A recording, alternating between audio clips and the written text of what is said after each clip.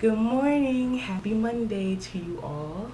And welcome to cycle day 23, 8 DPO. And my symptoms are, well, I don't have any symptoms. I mean, I've had some like some tingling, tingling in my belly, but who knows what that is. But I guess the first sign of AF trying to come is um, I don't know if you guys remember that before I get my um, my menstruation, I usually get pimples either on the side or on the top of my forehead or whatever. Well, I got two big old pimples like on my chin and I didn't even know they were there and I had done a video that day and I had no clue that they were there until I went to the mirror and I was just like oh hell no. What y'all doing there? And i was like oh man i hope my period don't you know doesn't try to come. And then um this weekend i had you know how you kind of feel it trying to come or whatever? You get like a little pain in your face where you feel like a pimple is trying to emerge? Well i had that for like a couple of days but the pimple just never surfaced. It just went away. Thank god. So yeah um so yeah. I haven't really been thinking about this whole this cycle has been you know like i said you know i get married next week. Oh my god i get married next saturday y'all. Can y'all believe it? I can't believe it either. We get married friday we got our marriage license. And it was just so cool because there was a few a couple of other um, couples in there.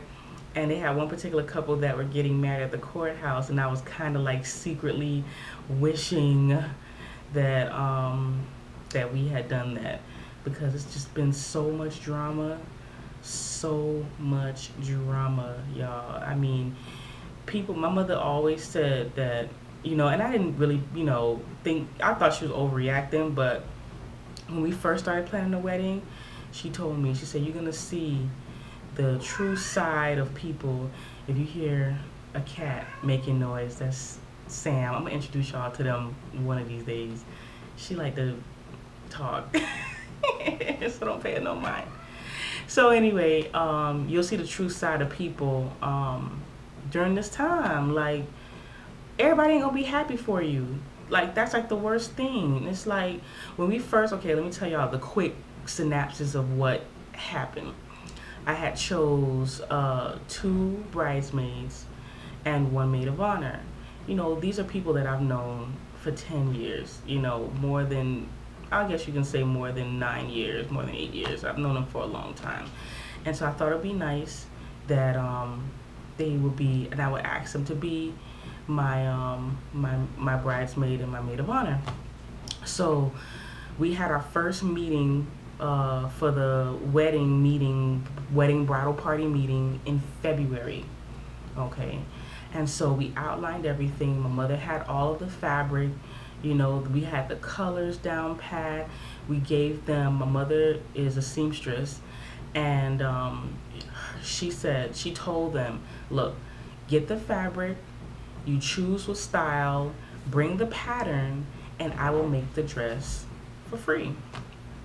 And she told them you could have, you know, one week, get the fabric to me, so that I can start cutting it out. You know, I can measure you all and start cutting it out so we can get it done and get it over with.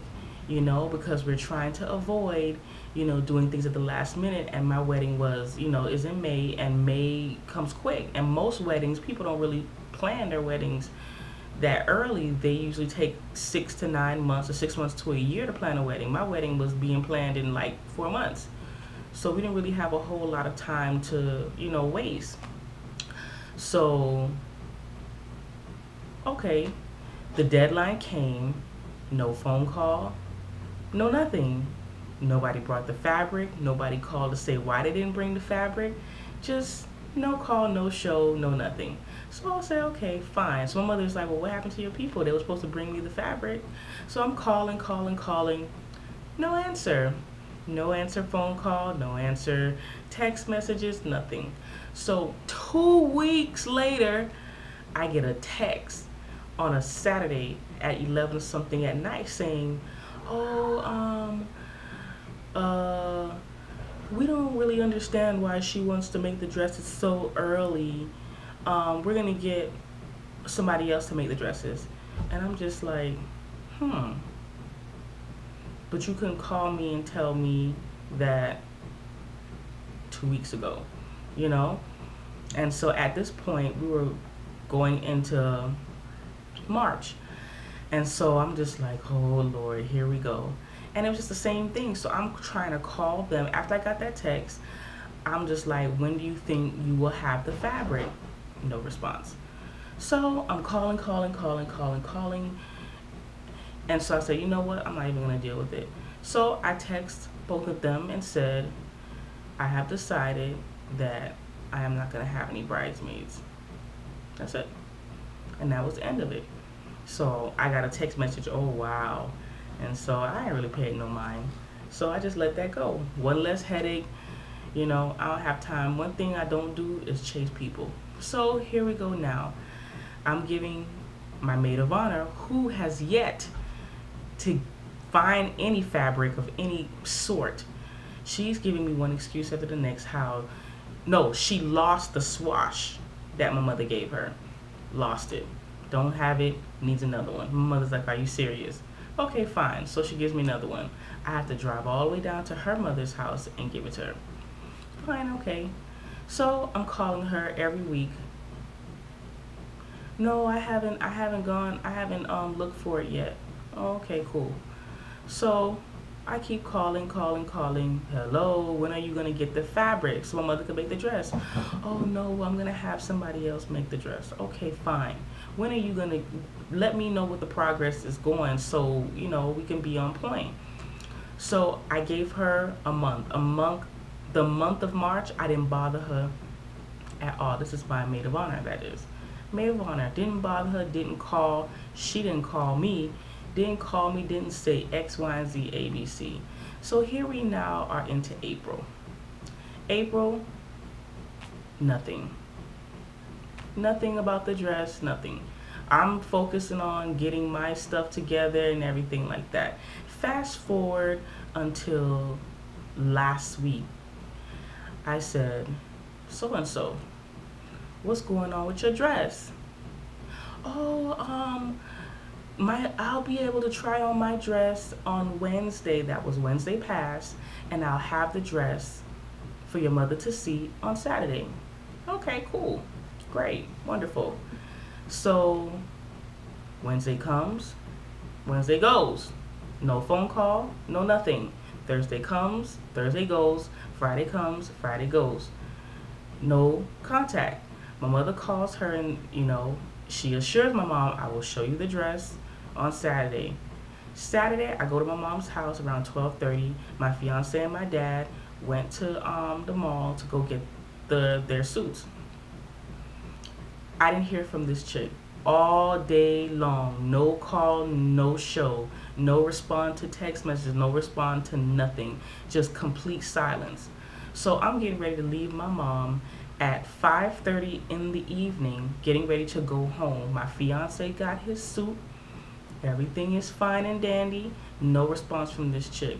So my mom is like, I'm, she called her and told her, you are not in the wedding anymore. We've tried to contact you.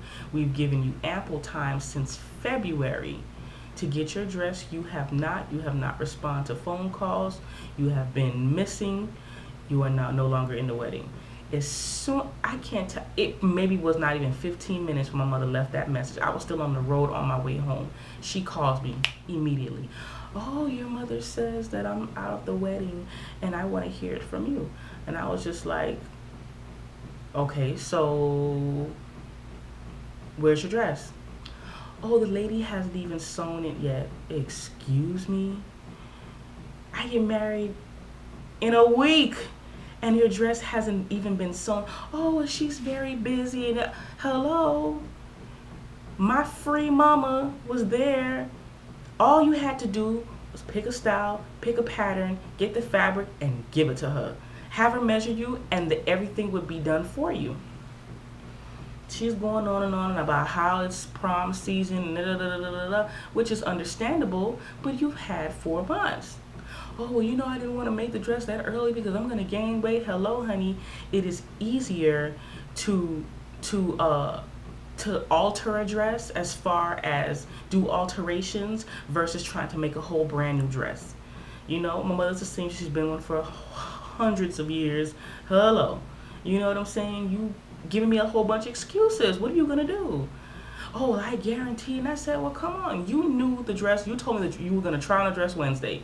You knew the dress was not even made yet. You didn't pick up the phone on Wednesday. You didn't pick up the phone on Thursday, nor did you pick up the phone on Friday. You got up Saturday morning, didn't even knew my mother was waiting for you to come, and you did not even show up, nor did you call. But now, well, my mom said you're not in the wedding anymore, and now you all upset with me. So of course she wants to argue, holler, and scream. So I was like, you know what? That is it. You're not invited to the wedding. Neither is your family. Thank you. Goodbye. Have a nice life. Bam. That's it. I don't have time for foolishness.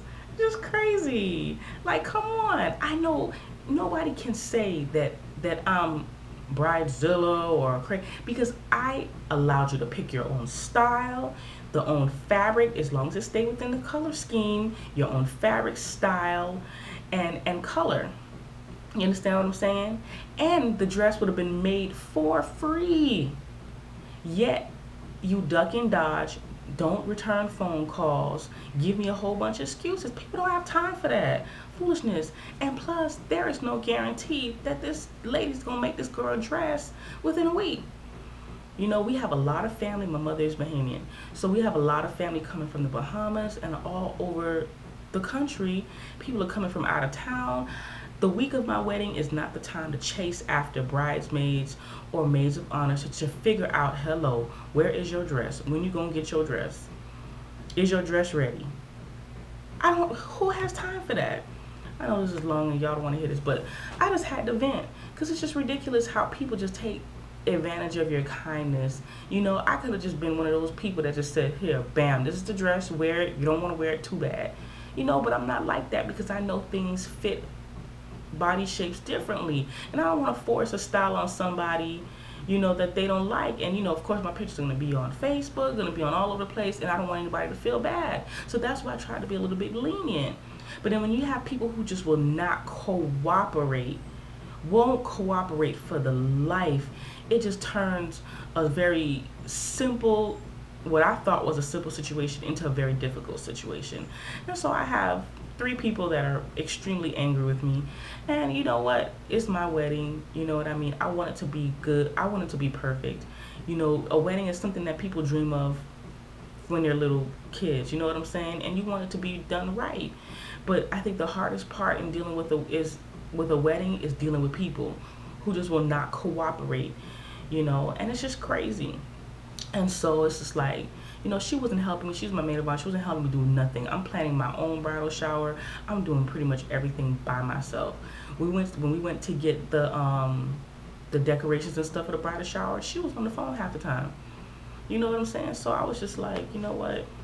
I mean, just completely uninterested and just you know, don't get this, don't get that. Just one of those neg- negative people who just don't like nothing you know, what do you like? Oh no, I don't like this. I don't like that. Oh, I don't like you shouldn't do this. But don't never have a suggestion of, and their suggestions are thousands and thousands of dollar costs.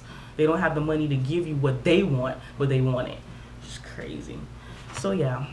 So I don't know what's going on with my cycle because I've been just fussing all weekend long my fiance was just like, see, I told you, we just got married at the courthouse. You didn't listen, and look at all this craziness. We could have been married by now, and he is absolutely right. But you know, my mother was like, no daughter of mine is getting married at the courthouse. So it's like I'm trying to please everybody, and then end up like being sad because you know I lost some friends, and I don't know. Well, the Lord will bless me with some new ones, hopefully. So that's just how it is. It is what it is. But yeah, hopefully my period should come, is expected to come on cycle day 26 because it came on cycle day 26 last month. So I'm hoping that it doesn't come. I need some kind of happiness. just need some kind of positivity a, just to smooth out the rest of the, the time for this wedding. I just cannot wait for this whole process to be over so we all can take a, a breather. And this is probably why it's hard for me to get pregnant because of stress. You know what I'm saying? So I think once this wedding is over and we're all relaxed and we get in, you know, our routine of married life, I think I'll be like, boop, pregnant. but y'all, thanks for listening to my story.